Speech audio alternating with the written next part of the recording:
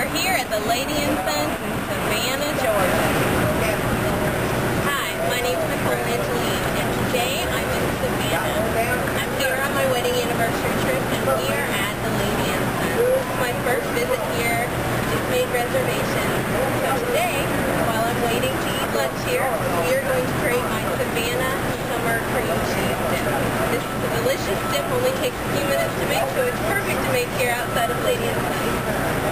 Okay, so first, the main ingredient of the dip is 8 ounces of Philadelphia cream cheese.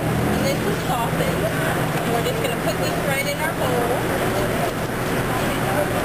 And then we have some cranberry sauce.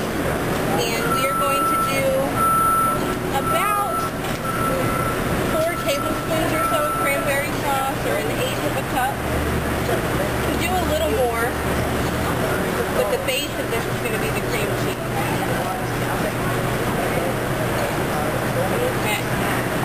Now we're going to kind of break this up and mix this together.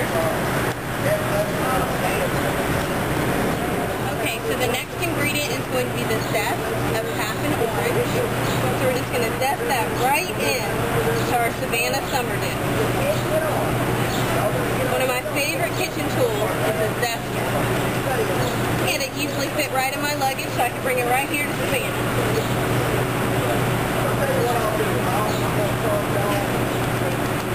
I call this my Savannah Summer Dip because it's a great, um, refreshing, colorful dip to serve at parties and brunches in the summer, but I've made this all year long. It's great in the winter too.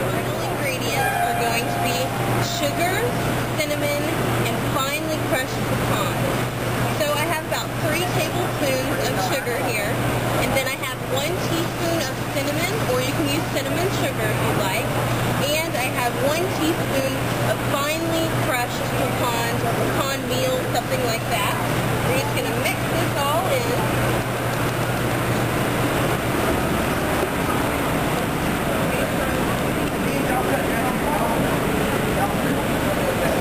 Now this dip you can serve right away after you make it. Or you can um, put it in the refrigerator for an hour. The longer it's in the refrigerator, the more the flavors are going to meld together. It's going to be really nice and tasty.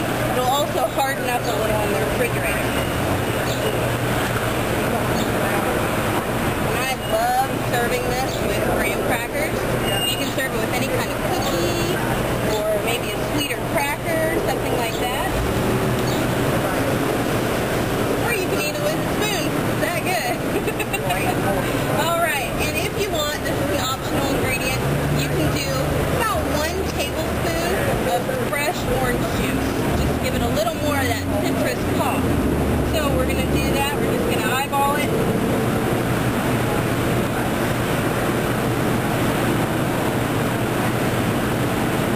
Y'all, it is hot here in Savannah, but this refreshing Savannah summer dip is going to really cool me down. They're about to ring the lunch bell, so we're going to go in and have our lunch at the Lady and Sons. Thanks for joining me today. I hope you can make this delicious dip at home. My